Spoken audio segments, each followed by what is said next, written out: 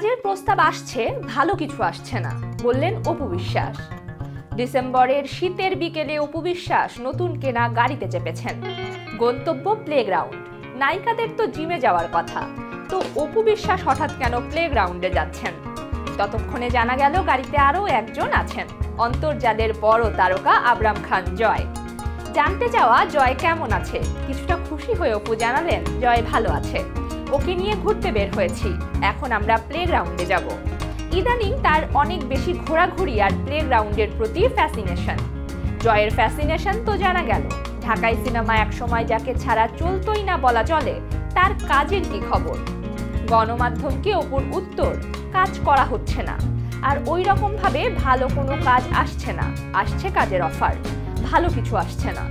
ভালো কিছুর অপেক্ষায় আছি। হলে পরে করব। আপনার প্রিয় কমলার আপডেট কি? অপু যে আপডেট জানালেন, তা গণমাধ্যম প্রকাশ করেছে এক সপ্তাহ আগে। অপুর আপডেটটা এমন, এটা সেন্সার হয়ে গেলে রিলিজ দিয়ে দেবে।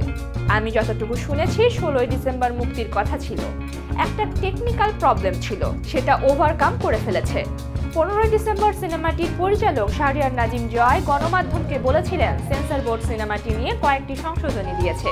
সেজন্য কাল মুক্তি পাচ্ছে না সিনেমাটি সব ঠিক করে সতেরোই ডিসেম্বর আবার সেন্সর বোর্ডে জমা দেব। তখন নতুন মুক্তির তারিখ জানাতে পারব।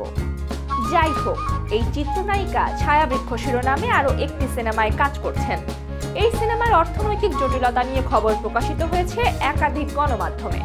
এই সিনেমার যে আপডেট পাওয়া গেল অপুর কাছে, সেটা হচ্ছে, কাজ এখনও বাকি আছে, ষাট ভাগ হয়েছে। এখনও চল্লিশ ভাগ বাকি। জানুয়ারিতে বসে আমি শিডিউল দিতে পারব। পরের প্রশ্ন করার আগেই বিদায় জানালেন অপু বিশ্বাস। হয়তো গাড়ি পৌঁছে গেছে প্লেগ্রাউন্ডে